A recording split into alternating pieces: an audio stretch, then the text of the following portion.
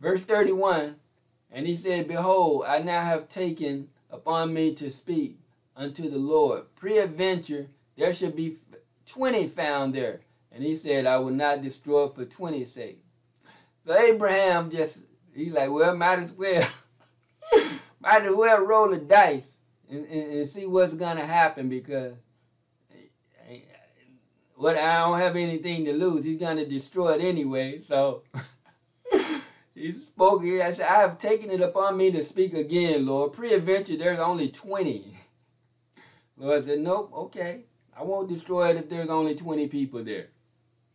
Verse 32, and he said, Oh, let not the Lord be angry, and I will speak yet but this once. This is the last time, Lord, I promise. Preadventure, 10 shall be found there.